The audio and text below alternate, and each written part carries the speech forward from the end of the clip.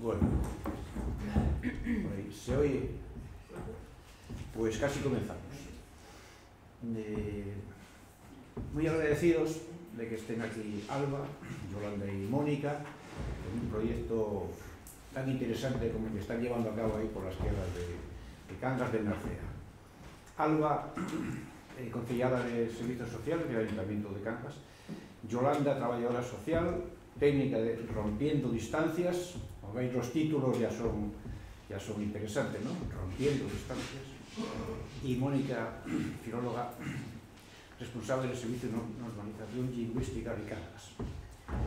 Toca hoy, efectivamente, aquel componente social que decíamos en el ciclo, que era, el ciclo era toponimia social y toponimia digital, porque me parece dos aspectos imprescindibles en estos tiempos. La toponimia digital, que fue dos conferencias antes, va a ser la, de, la última, la de Miguel Ángel Adrados, otro gran especialista en, en cartografía, bueno, los mapas de la montaña asturiana y todo Cantábrico, toda la cordillera cantábrica son de Adrados, por supuesto.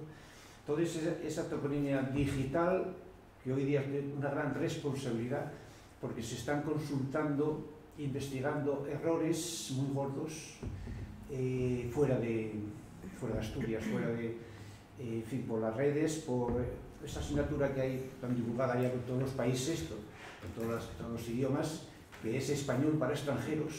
Tengo correos, algunos, eh, y de gente que está investigando y que investiga cosas que son errores mmm, verdaderos, uno, por unas razones y por otras, pero que no corresponden ni con la etimología ni con la, lo que dicen los paisanos y las paisanas de los pueblos. Eh, errores muy gordos. Por tanto, hace falta esta precisión para que la toponimia sea oficial o como sea, sea la que dicen los paisanos o dijeron. Y cuando lo quieran cambiar, que van cambiando las cosas y evolucionando, que sean los propios paisanos eh, los que eh, van cambiando los nombres, pero que nadie de fuera, sin conocimiento, los cambie a su gusto. Y esta toponimia social, ya no voy a decir nada más, que sí que resulta aquí por muchas razones también. Primero, para la gente mayor, que es una fuente de documentación impresionante, porque tienen en su memoria, en su retina, toda la vida, en fin, no solamente toponímica, sino de costumbres, costumbres solidarias de cuando eran jóvenes.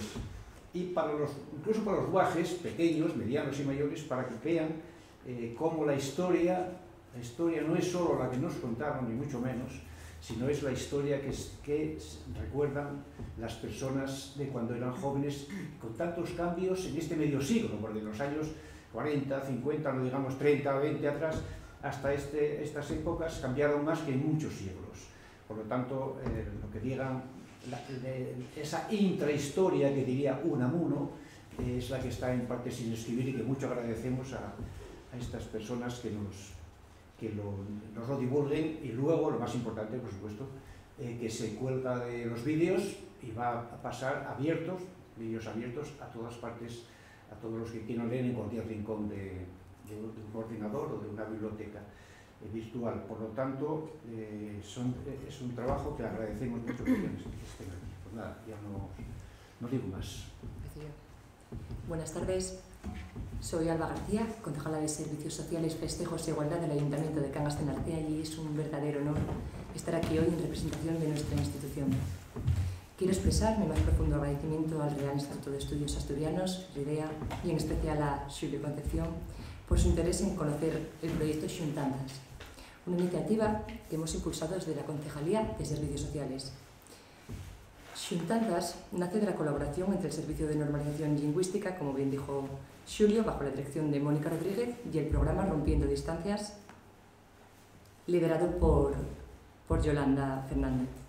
Este proyecto tiene como objetivo central poner en valor y dignificar los conocimientos, experiencias y saberes de nuestros mayores, personas cuyo legado cultural y vivencias son una fuente inestimable de riqueza para nuestro Consejo. Aunque vivimos en una sociedad marcada por el avance tecnológico y el cambio constante, creemos firmemente que hay prácticas, tradiciones y conocimientos que no deben perderse. Nuestros mayores son depositarios de una sabiduría que debe ser escuchada, respetada y preservada. Xuntanzas pretende precisamente dar voz a esta generación y recoger su herencia para que perdure en el tiempo, reconociendo la importancia de su contribución al tejido cultural y social de Cangas de Narcea. Ahora, con mucho gusto, cedo la palabra a las técnicas responsables del proyecto, quienes detallarán el contenido y desarrollo del programa. Muchas gracias.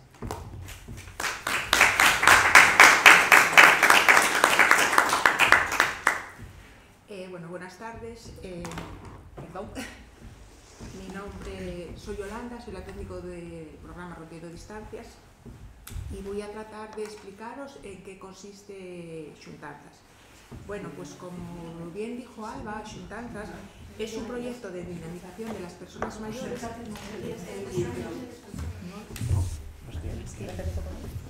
¿Ahora me oís mejor?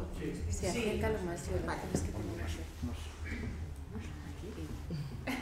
Bueno, pues como os decía, eh, es un programa de dinamización de las personas mayores en el medio rural del Concejo de Cangas de Narcea y tiene como finalidad pues, poner en valor, dignificar los conocimientos, experiencias y saberes de las personas mayores. Eh, nace a iniciativa de la Concejalía de Servicios Sociales y lo re- realizamos conjuntamente tanto el, el Servicio de Normalización Lingüística como el Rompiendo Distancias. Eh, voy a deciros un poco ahora eh,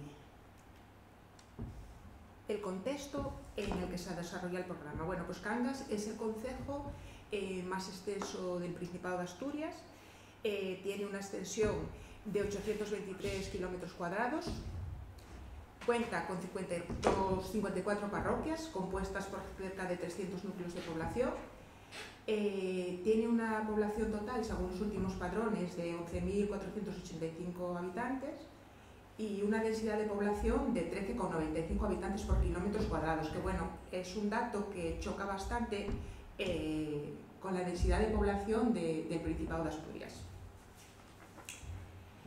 Eh, al igual que otros concejos rurales, eh, pues el nuestro tiene despoblación aislamiento, una población envejecida y dispersa, una limitación en el acceso a los recursos y servicios. Los recursos eh, están concentrados mayoritariamente en la zona urbana del concejo. Tenemos una accidentada orografía que dificulta las comunicaciones, sobre todo en épocas invernales, y tenemos también, al igual que otros muchos concejos, un escaso desarrollo de la red de transportes. Estos datos es verdad que son muy negativos, pero Cangas de Larcea es un concejo precioso, con unos paisajes fabulosos y al contrario, bueno, para favorecer un poco, tenemos una gastronomía estupenda y un vino inmejorable. Eh, bueno, eh, bromas aparte, eh, con Xuntanza se plantean objetivos tanto a nivel social eh, como cultural. Los objetivos a nivel social pues son el promover el envejecimiento activo y fomentar la participación social, crear comunidad y espacios de encuentro. Dos cosas a la vez me parece que no soy capaz de hacer, eh, perdonad. Eh, paliar la soledad, eh, bueno, en esta época eh, que vivimos, post pandemia, pues es muy interesante pues tener una de- dedicación especial a esas personas mayores que viven solas. Entonces, bueno, esto es un principio de facilitarles pues, cercanía con los vecinos o un acceso a otros recursos. Eh, siguiendo con los objetivos que planteamos, pues bueno, contribuir al, acercamiento, conocimiento, respeto y dignificación de todas las etapas de la vida. Y por supuesto, dinamizar las comunidades rurales. Eh, los objetivos a nivel cultural pues son eh, visibilizar y poner en valor las aportaciones de las personas mayores como difusoras de cultura, eh, favorecer la transmisión intergeneracional, un aspecto que creemos muy importante para que la población más joven pues eh, también sea conocedora de, esas aportaciones que tienen los mayores. Nos parece fundamental porque si no esas costumbres, tradiciones, historias de la zona se van a perder. Después también eh, rescatar los elementos identitarios de, nuestro pueblo, como la lengua, la idiosincrasia, tradiciones, y también recuperar testimonios eh, y fotografías antiguas que ilustren eh, estas cuestiones. Dignificar las aportaciones culturales de la población rural, particularmente de las personas mayores, y, como no, recuperar la, tomo- la toponimia menor. Bueno, Xuntanzas eh, se inaugura eh, en marzo de 2024 y en esta primera edición pues eh, va dirigida a seis parroquias del Concejo. Las, que, las parroquias que se hizo en esta primera edición son Carceda, San Pedro Culiema, Trones eh, y Visuyo. Ahora eh, estamos desarrollándolo en la parroquia de, de San Juliano y en el, mes de, en el mes próximo iremos para la parroquia de Aubert a finales de, bueno, cuando terminemos, se pretende que, bueno, que llegar a un total de 53 núcleos poblacionales. Eh, xuntanzas... Eh, se oye peor ahora que antes. ¿Sí? ¿Ahora me oís? Sí, mejor. Igual soy yo que me alejo. No, no, no, no. ¿No? Fui yo, perdón. Ah, vale. Quería quitar los acoples, perdón. Ah, bueno. Pues en el desarrollo de Xuntanzas, Xuntanzas se desarrolla, eh, dedicamos tres sesiones eh, a cada parroquia. En una, primera presentación, en una primera es una presentación del programa y una motivación eh, a las personas a, participar previa, bueno, pues previo contacto con, informantes clave de la zona, personas que conocemos de, de otras actividades, vistores, vistoras y alcaldes de parroquia. En una segunda sesión, pues es una preparación de, los contenidos a tratar. Y ya en la tercera, eh, pues hacemos un programa de radio y televisión en que cada participante pues habla de los temas seleccionados y esta, esta grabación bueno, se hace con la colaboración siempre de, de Radio Narcea, que bueno, colabora desinteresadamente. Bueno, las áreas de estudio que comprende Xuntanzas pues es la historia, entre historia, la lingua, que más adelante Mónica eh, os hablará de ello, etnografía, literatura tradicional. Eh, fruto de esas jornadas de, trabajo, eh, una de las cosas que, de los aspectos que a lo mejor más nos llamó la atención en cuanto a historias referidas a las parroquias y sin desmerecer otras, es la historia de, de la parroquia de Visuyo. Eh, Visuyo pues, eh, es un pueblo adelantado a aquella época y quizás tiene un desarrollo económico y social diferente a otras zonas del concejo. Eh, nos parece que eso es debido al asentamiento de una comunidad protestante en la zona, en el pueblo, y también a eh, la explotación maderera del Pomar, del Pomar de las Montañas, pueblo eh, cercano y perteneciente a la parroquia. Eh, voy a tratar de explicaros así brevemente pues, la historia de, de los protestantes, del asentamiento protestante en Vesuyo. Eh, llama la atención cómo un pueblo pequeño y aislado en la montaña occidental asturiana eh, se constituye una comunidad protestante eh, muy importante final, eh, en el siglo XIX junto a Gijón. ¿Me oís bien o se va el sonido? Sí, sí. No, ahora Bueno. Eh, para poneros un poco en antecedentes, hay que señalar que Vesuyo eh, tiene una fuerte tradición de, de ferrerías y forja. Y bueno, las personas con las que hablamos pues vinculan la existencia de los ferreros a la comunidad protestante. Eh, quiere decir que, a ver, los ferreros eran una gente inquieta, eh, culta y salían a vender eh, productos a otras regiones españolas. Es en esos viajes donde entran en contacto con, con la fe protestante. Es un vecino del pueblo, eh, Manuel Rodríguez Castellano, el que, el que primeramente difunde esa religión a sus familiares del pueblo, enviándoles Biblias y cartelería y a otros vecinos de, pueblos limítrofes. En un principio, esta novedad religiosa eh, pues es muy bien aceptada por los vecinos y se extiende a los pueblos aledaños. Claro, todo al principio iba muy bien, pero hubo un momento que la cosa se tuerce un poco, eh, debido a las persecuciones, a las presiones de la época y, y a una falta de, de libertad religiosa. Entonces, eso se traduce que eh, solo quedan tres familias que practican la fe protestante, que son la Casa Brisel, Casa Joan Ferreiro, la casa natal del filósofo Lorenzo Rodríguez Castellano y la Casa Xoabó. Eh, deciros que los protestantes tenían en Visullo una capilla escuela. Eh, por la semana pues la utilizaban como escuela tradicional, los críos iban, los nenos y nenas iban a clase y después eh, el domingo lo utilizaban para, para practicar el rito protestante. El último pastor protestante eh, fue Daniel de Chacón y tras él quedaron sus hijos Lulo y Dina, eh, que residieron en el pueblo pues hasta su fallecimiento. Yo tuve el honor de conocer a Dina, una persona muy interesante, con una vida muy austera, y bueno, falleció en el 2014. Eh, así como anécdotas de, esas que cuentan los vecinos, de esas, las vivencias de esa época, pues manifiestan que, que, los protestantes eran muy respetuosos en todos, bueno, ritos y tradiciones con el resto del pueblo y también eh, cuentan con mucho cariño, recuerdan con mucho cariño que el primer árbol de Navidad eh, lo conocieron en, en la capilla protestante.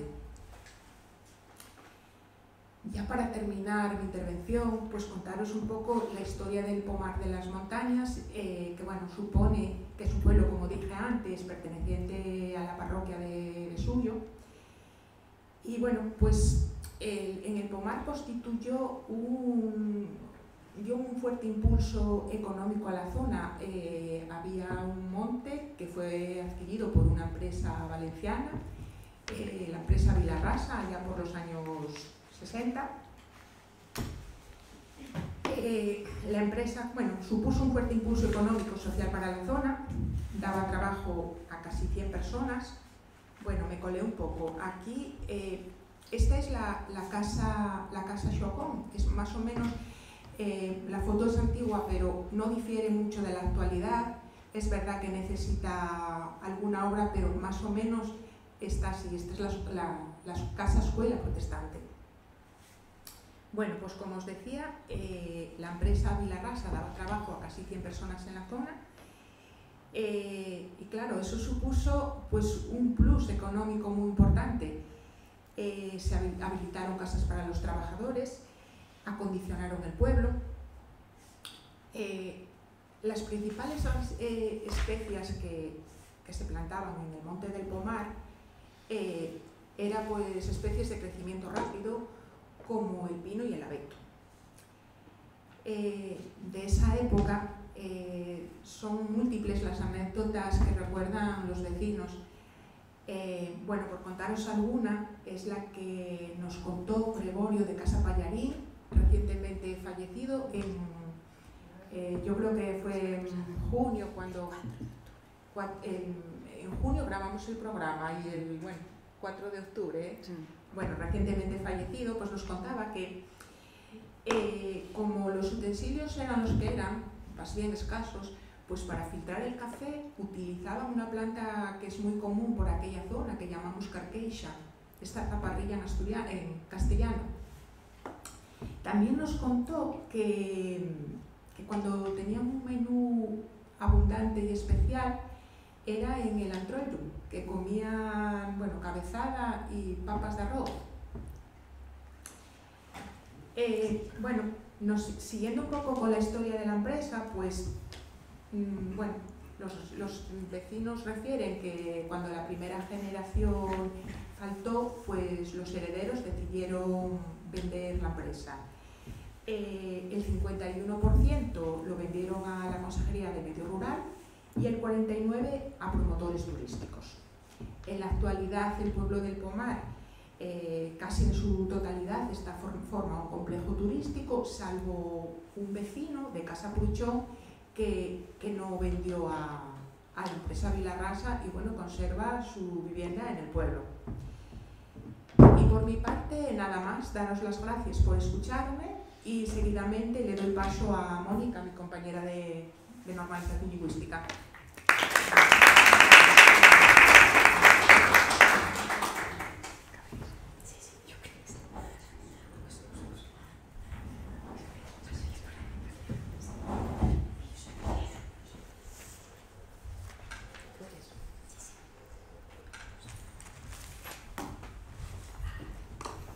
Mm-hmm.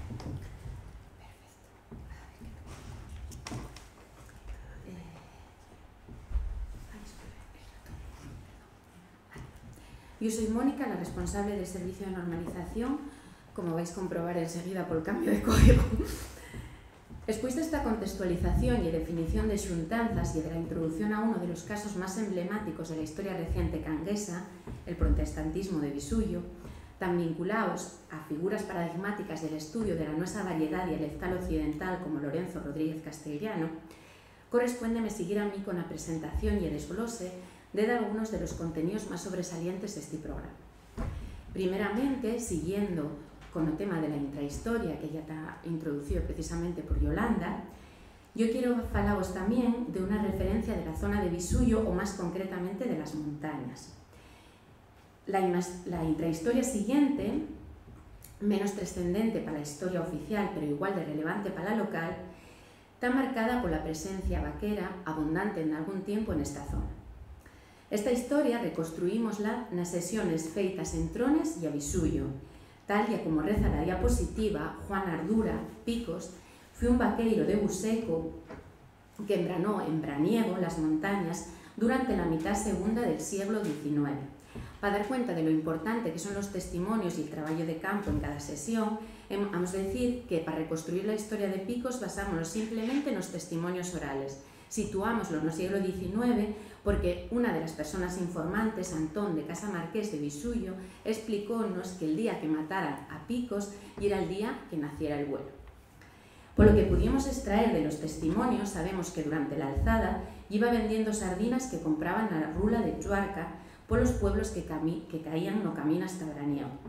Sabemos también que aprovechándose de la confianza de las vecinas y los vecinos de Buseco, compró para sí mismo un monte comunal con cargo a las aportaciones vecinales. Obviamente estas circunstancias provocaron y bastantes desavenencias en su comunidad.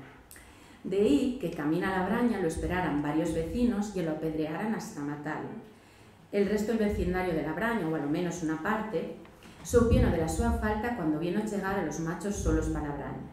Despois del asesinato, según nos dixeron tamén, el xuez concentrou a todos os vaqueiros en Casa Tomás, en Bisuyo.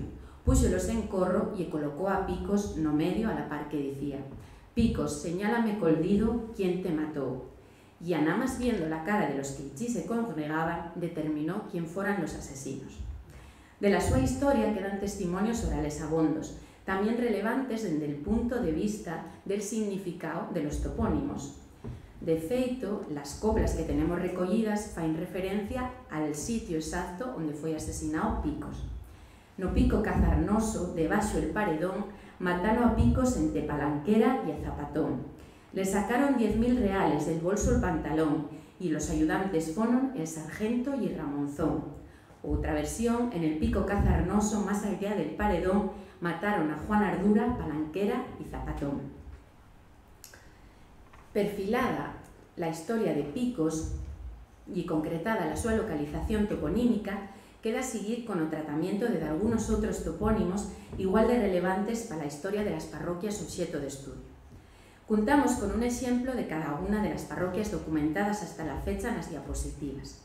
Con todo, y antes de pasar al su tratamiento concreto, gustaríame, aprovechando que este el tema central destas xornadas, resaltar la importancia de la toponimia a la hora de ofrecer un retrato fidedigno del territorio con una notación básica.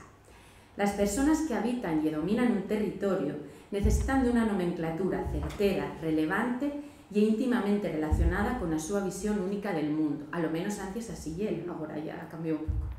Si la cartografía representa xeográficamente, la toponimia failo semánticamente e las dúas xuntas defínennos porque transmiten información directa de lo que somos en base a la manera en que nos asentamos y descodificamos el mundo que tenemos alrededor. Neste sentido, los nomes van indisolublemente vinculados al código propio de este pueblo, el nuestro, independientemente de que andando los tiempos, como mencionó antes Xulio, se deturpen y transformen a veces de manera muy poco respetuosa. Por eso, no nuestro registro toponímico, contamos con hidrónimos, orónimos, asiónimos, epónimos, tal cual nos los transmitieron los habitantes de estas zonas, y sabemos que sitios como el Castro, el Castiecho, fan referencia a puntos de acceso difícil, que la chanona o la chanina responden a un terreno chano, que no pilón hay una fuente de agua con espacio para beber el ganado, que el Bao é unha zona próxima a un río con tendencia a inundarse nas riadas, que nas palomberas había palombos, que no regueiro hai un curso de agua por rin que sea, que na granda abondan los matos e los peneos, que nas treizalinas habían de algún tiempo ceizales, que el cimblo e la raya imaginaria que define el punto máis alto de un cordal o que no barrio de la Solana da el sol e no del Avesío no. Dicho esto, pasamos a los ejemplos concretos que escogimos para ilustrar cada parroquia. Aprovechamos también para incluir algunas explicaciones posibles referidas a los nombres de las propias parroquias. La primera de las parroquias y la única de las cuatro que hasta ahora tenemos estudiadas y la única que tiene una nomenclatura que no fai referencia a un nombre propio. Falamos de Carceda, que parece estar vinculada a un colectivo directamente relacionado con un fitónimo, Carballo. Entonces faría referencia a una zona donde abundan los carballos, rebochos o, o carbachos también en Cangas. De esa parroquia escogimos el topónimo Chinderrebocho. Chinderrebocho viene del latín límite, eso parece bastante claro, porque además coincide con que ya el punto que divide las cuatro partes de monte de los lugares de la parroquia. Y Roboren, rebocho, que la, la, el nombre más común para esta especie en Cangas, y allí la especie que marca la divisoria. Para seguir contamos con la parroquia Visullo, deriva directamente de un nome de persona, Vesulios, e aparece así documentada na propia, propia monografía dialectal de Lorenzo Rodríguez Castellano, la Pontarganza y el topónimo que vinculamos a esta parroquia, del latín pontem, que es la plataforma que, como todos sabemos, permite sortear un paso de agua, y arganza, que parece hacer alusión a una raíz indoeuropea aplicada a lo que rechuma y tal precisamente vinculada a hidrónimos porque el agua refleja la luz cuando la recibe. Seguimos con la parroquia de Trones, que también está vinculada a un nombre propio, y ahí seleccionamos el Stoupiecho, del latín stupan, stoupan occidente, que es la parte era más áspera y abrupta del chin. Normalmente aplicas este topónimo a picos y montes con acabados cóncavos, na opinión de García Arias, polas similitudes posibles con cestos antiguos fabricados con este material. Todo esto podemos discutirlo máis tarde. El cruce la Tila pertenece pola súa parte a la parroquia de San Pedro Culiana. Neste caso, dase unha característica máis específica que, que el topónimo de la parroquia está formado por un axónimo, que sería Santus Petrus, y a la par por una derivación de un nome propio latino, Culiema, que puede venir de Willam Colonia, haciendo referencia al poseedor.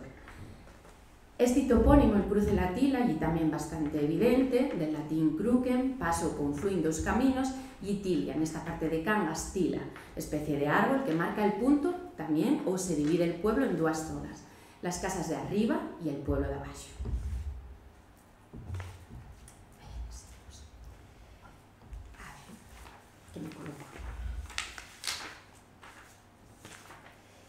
Siguiendo con las denominaciones propias, también vinculadas a zonas concretas, en este caso dentro del, propio pueblo, de la comunidad habitada, quedanos repasar las referencias a la antroponimia. En Occidente, y en otras zonas de Asturias también, y muy común pertenecer a una casa, y esa casa tiene una denominación que puede estar vinculada a diferentes cuestiones, pero es muy común que esté vinculada a antropónimos. Gracias a la información que, recollem, que recollemos con los nombres de las casas de todas estas parroquias, tenemos un montón de datos que dan cuenta de los nombres tradicionales propios de la zona. Así, na, na parroquia Carceda tenemos Anxelón, Xaviel, Mingón, na parroquia de San Pedro Culiema, Farruco, Rufa, Maruxa, Xoaco, na de Trones Anxelo, Tuisín, Fonso, Paulón, Marcos, Gregoria, Martín o Tareisona na de Pacho, Xuan, Malia, Peire, Antón o Milio. Igualmente, e de venir a ese intento de definir el contexto que nos ocupa, contamos con moitos fitónimos que tamén recollemos nestas sesiones. Pois pues eso, aí tenéis un, un listado grandísimo, tampouco vamos a decilos todos, pero tenemos eso, freino, freino, carrouba, la carrouba y la raíz del ganzo, porque además de las especies concretas también tenemos partes vinculadas a esas especies. Eso es la carrouba, el ganzo, el rebocho y la forma más frecuente para todo lo vinculado al género robur en cangas. Tamén tenemos plágano, figal, nisal e despois moitos derivados de todo o mundo de la castaña, tan importante en outros tiempos para pa la zona rural. ¿no? Para acabar tenemos ya fitonímia de orden menor, más vinculada a plantas como la correyuela, la planta de las siete costuras, etc.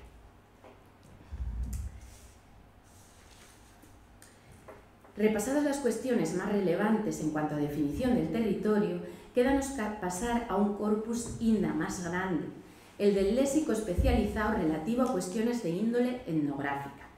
Neste sentido, contamos con moita información relativa a traballos e tradiciones propias.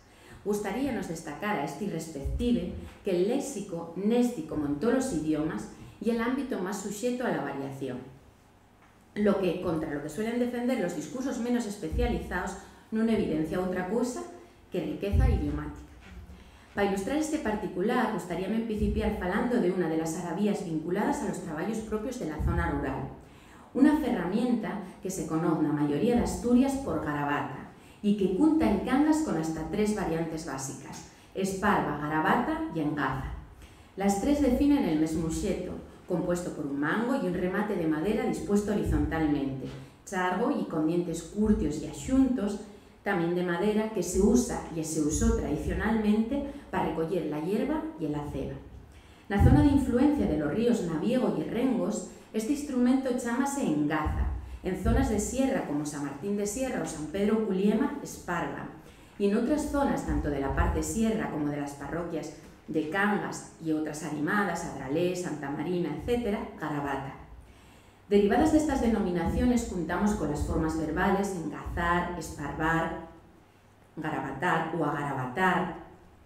Igualmente registramos también los homólogos masculinos, siempre de menos tamaño, dientes más raros y, y usos diferenciados. En este caso usábanse para las malladas, para desarizar las castañas o para la roza. Las denominaciones correspondientes son engazo, garabata na zona de esparva y agarabato na de garabata. Todo esto vincúlase directamente a lo que decíamos al principio en relación a la toponimia. Non deixa de ser un testimonio claro de la idiosincrasia a nivel de tanto calao que el reparto está directamente relacionado con la isoglosa mucher-muller, siendo la forma en gaza la preferida de las zonas de resultados del fonema palatal africano sordo y a garabata o esparva la de las zonas de resultados del fonema palatal fricativo sonoro. Por ilustrar un poquenín más esta cuestión aparentemente poco importante, diré también que en otras cuestiones, por ejemplo de índole folclórica, mantiene también la diferencia dentro del territorio, siendo así que el son de arriba, baiche cangués por excelencia, nada más se conoce en la zona de Mucher. Finalizada esta cuestión y siguiendo con ítem léxico, juntamos con vocabulario propio de oficios tradicionales y vamos incluso recopilando toda la nómina de madreñeiros, músicos y hasta compostores renomados de las zonas de estudio. Sabemos de la feitura propia del cesto el carpinteiro y de las herramientas, garlopa, garlopín, serrucho, berbiquí, porro, formones, tuela y agubia, del procesado de la chana desde el tosquilao al filao. Igualmente, gracias a las aportaciones vecinales, reconstruimos algunas de las tradiciones más arraigadas y representativas de la zona, Por exemplo, durante el antroiro, en Carceda, los rapaces subían al cimblo con manceos de palla, que no sé si sabéis lo que son, son como manollinos de palla que se prendían para chumar cuando no había, obviamente, iluminación pública, esquilas, chuecas, un pote y un gato. Esto no queda demasiado bien na edad, pero era así. Y metían al gato en el pote y echaban las vueltas a modo de rito iniciático, siempre vinculado al ámbito masculino. Sabemos tamén de la gastronomía propia que ya adelantó antes Ioli. En Caceda tamén, na Alborada, que é o sitio onde recollemos un montón de tradiciones festivas, no día de San Roque pola mañena, van de casa en casa con música, con un putín disfrazado e en cada casa tirase un volador. A más, roubanse gachones. Esta tradición, tamén a modo de rito iniciático, está documentada tamén en Bixullo.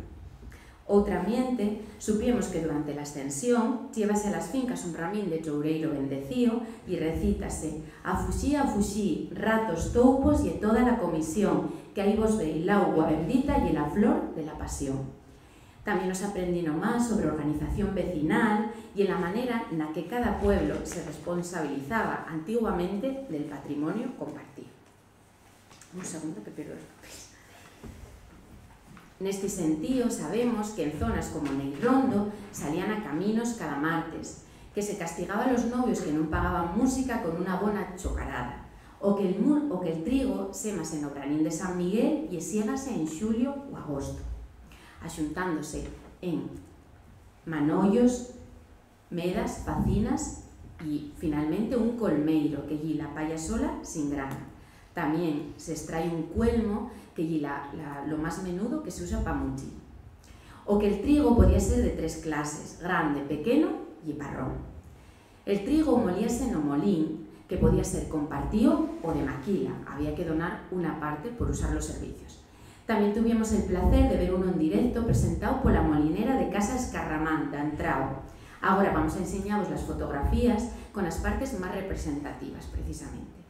Aí podéis ver máis a la izquierda lo que lle el molín completo e al fondo el brindal, que lle la zona onde se recoi la farina una vez molida. Podéis ver la mano de la molinera con la grana, podéis ver ese elemento vertical que lle el molinete, que lle el que permite el movimiento de la vamos, de las piedras, arriba las muxegas, que es donde se carga el grano, y a lo último la penea.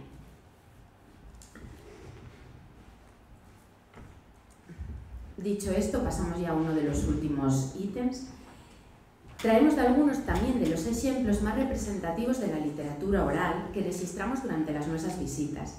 Por cuestiones de tiempo, evidentemente, no vamos a recitar todos estos romances de algunos conocidos porque son comunes a otras zonas de la península, pero sí nos gustaría compartir uno de los cuentos que nos contaron Neiron, Neirondo, no, Neirondo no, perdón, Naraniego, me confundí, el de la pena la borrica.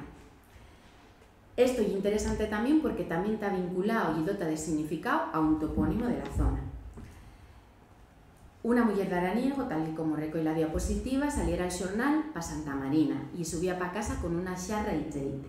Salieron y los chobos, subióse a un freino ofendido por una parte que había en la pena la borrica y los chobos pusieron a arañar el tuero para que cayera. Entonces ella tiró la xarra el cheite y cayó a un chobo encima. Quedó uno blanco y otro negro. Entonces el negro pensó que el otro y era un perro y empezó a amarrarse, con lo cual la mujer pudo bajar y marchar para casa, intacta. Bueno, esto podría tener análisis ya más en profundidad sobre los significados del bien, el mal, etc. Pero vamos a, vamos a ir ya siguiendo. Bueno, acabamos la representación con un repaso de algunas de las fotografías más ilustrativas del trabajo de campo en estas zonas expuestas. La mayoría están vinculadas a ambientes comunitarios, festivos o de trabajo. Esto es interesante porque a lo último Xuntanzas recrea unha xuntanza precisamente tan común na sociedade tradicional de antano e tampouco na de agora. Entón, bueno, está bien. Aí podéis ver, por exemplo, la nevadona del 83 en, en Castrosín, onde tuvieron que improvisar unha, unha pala para pa salir del pueblo con un Land Rover en marcha atrás. Podéis ver unha merienda, tan comunes noutros tiempos.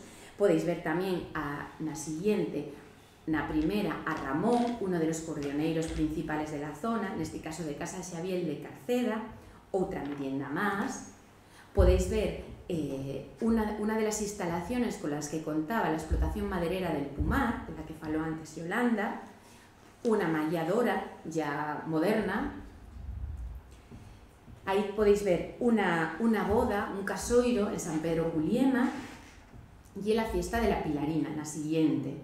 Despois contamos con un colmeiro o palleiro de Araniego e con unos homes que están facendo precisamente manollos en Castrosín, preparando las ataduras con a propia palla.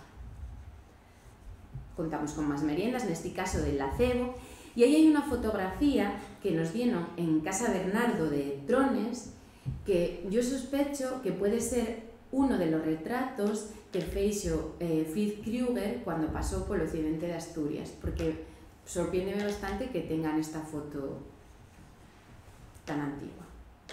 Seguimos con otra boda, en este caso la boda de Amador de Valiente, de Araniego, y después con una fotografía de la mocedad, de las rapazas y los rapaces de Araniego eh, en Santa Isabel.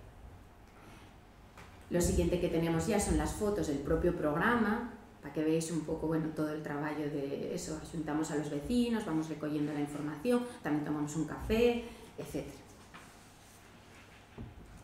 E agora nesta sí que me gustaría pararme particularmente na foto última, na tercera, porque aí podéis ver en primer plano con boina a Gregorio de Pulgarín, del que falou antes Yoli. Pienso que é interesante pasar, parar nesta foto un momentín precisamente polo que comentamos, porque Gregorio de Pulgarín finó a los 98 años de edad el día 4 de este mes. Y tuvimos la suerte de contar con él para las sesiones que fixemos de xuntanzas en Misuyo. Gregorio foi unha desas persoas imprescindibles para conocer e retratar la historia de Cangas. Nació no Pumar, díxonos entre outros, el nome de cada casa antes de que el lugar fuera un complexo de hostelería, como, comentó Yoli, conoció a los vaqueiros de Braniego, ayudónos a reconstruir la historia de Picos y la propia memoria vaquera de Cangas. Trabajó en la empresa maderera de explotación del Pumar, de la que también nos faló, y vivió la mayor parte de los sus años en Missouri. El registro de testimonios como este dan sentido y respaldo al programa. Bueno, tenéis más fotos de otras sesiones, en San Pedro Culiema, en Trones. Vistas todas estas fotografías, incluida la de Gregorio Pulgarín, simplemente anotar una conclusión final en relación al propio programa. No volumen 1 del Atlas Sonoro de la Lengua Asturiana, publicado en 2003, Magina Rodríguez Feito, vecina de un pueblo de Tineo, compartía la reflexión siguiente. Lo de agora non lo sabemos e lo de antes non vale. Pienso que estas palabras justifican más que de sobra el nacimiento y importancia de xuntanzas. Non puede construirse ni una sociedad de progreso sobre el desprecio por la herencia recibida. Estamos obligadas a recuperar y dignificar la nosa identidad cultural de la mano de las personas que la representan y a construir el nuestro futuro sobre ese testigo valiosísimo mientras ainda podemos. Más nada. Muchas gracias.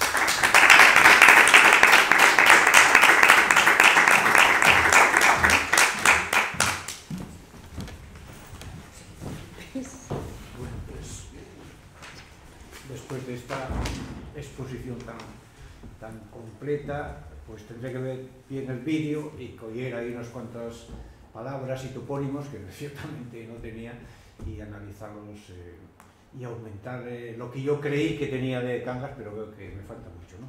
A ver, ¿alguna pregunta que queráis hacer? Por preguntas, claro, se pueden hacer muchas. Hola, buenas.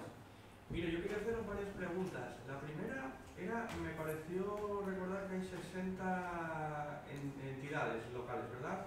¿Puede ser el número? Eh, no, parro parroquias te refieres. No, la división por debajo de parroquias, ¿cómo lo llamáis? Eh, son pueblos. Pueblos, sí, pueblos. entidad local, sí, vale, pueblos. Es que juraría que eh, vuestro objetivo era llegar a 53 de ellas, o sea, ¿se han quedado 7 por ahí o me equivoqué de números? Perdón. Mm, no, es que no. Yo, yo creo que, que no, igual también puede ser, bueno, perdón, que a lo mejor puede ser que no lo hayamos explicado bien. Es, son eh, 52 parroquias, son 52 parroquias, eh, y bueno, sí son más o menos cerca de 300 pueblos, es verdad que alguno está deshabitado, y después yo creo que a finales el bueno, el objetivo no es el objetivo, es eh, un cómputo. Para finales de este año con las seis parroquias me parece que nos salían 50 y algo eh, pueblos. Mm. Bien, bueno, en definitiva que queréis llegar a todos, no, no se queda ninguno sí, son, son, son, son 53 pueblos en total eh, para este año. Vale. ¿Puedo, puedo decir sí, cómo no. El objetivo es llegar a todos los pueblos, eh, tantas que, que crezca y que empezamos por los pueblos que empezamos porque eh, consideramos que eran los que más aislados estaban y los que menos servicios tenían, o sea, tenían menos acceso a los servicios que desde el Ayuntamiento de Camas de Narcea pues hacíamos, porque hacemos otras actividades como mujer rural, como desde servicios sociales tenemos otros proyectos, pero esas zonas concretas pues estaban como un poco eh, olvidadas, digamos, y por eso empezamos con estos seis, bueno, estas seis parroquias, pero sí, si Dios quiere, pues llegaremos a, a todos ellos. Gracias.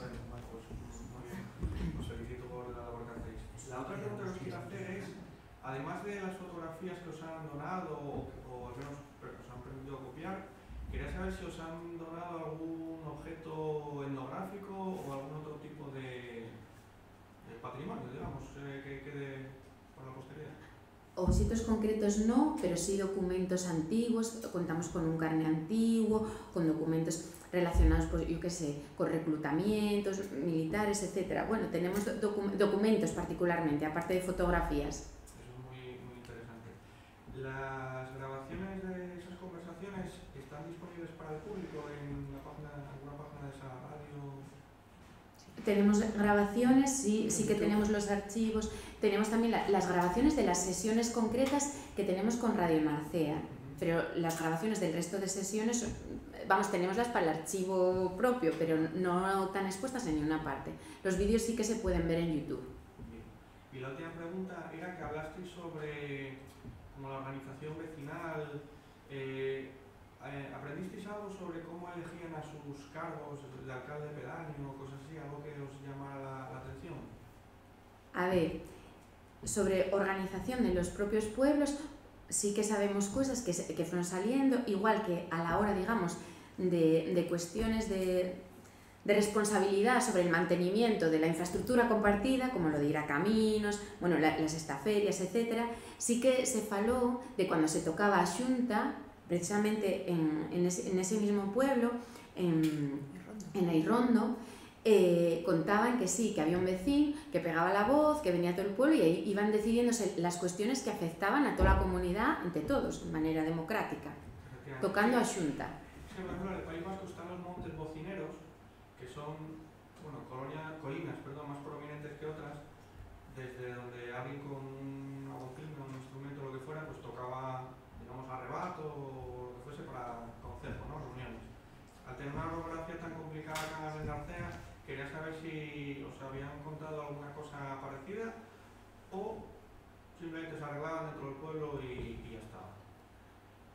Vamos, Neirondo, que es el tema donde salió concretamente todo esto que, que comentamos, eso comentaban eso que había un vecino que era el que daba la voz, además había un punto concreto del pueblo donde se situaba, porque además tienen, no me acuerdo en qué punto, hay, hay un banco, que hay como un sitio concreto y emblemático que asunta a todos los vecinos, ¿no? Y ese vecino colocabase en ese punto, pegaba unas voces y entonces todo el mundo sabía ya que tocaba algo importante. Muy bien, es que la anécdota esa que contáis de Picos es más o menos como de un medium, ¿no? Porque es el juez el que pregunta, Picos, ¿quién te mató? Y está muerto, ¿no? Eh, sí, pero bueno, eh, ahí lo que, lo que sí que nos decían también y era que quiero decir, por la propia expresión, a ver, que y era como una manera en la que el juez pretendía que, que dieran a conocer solo por la propia expresión facial la culpabilidad. No sé si me explico. Sí, sí, sí. Y después, claro, quiero decir, la manera en la que el imaginario colectivo transforma la realidad histórica, claro, como en todos los ámbitos, ¿sabes?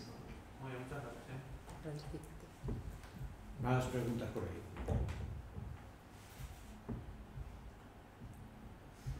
Bueno, yo le haría una o varias, claro. Primero lo de la carquecha, la carquecha que sirve para el café, Para colar el café. para colar café. para colar el café. Y También se utilizaba para, antiguamente, bueno, Para no sé si me oís, para para fregar, fregar, para fregar. para colar el café. Y tridentatum, partum, la especie. Para.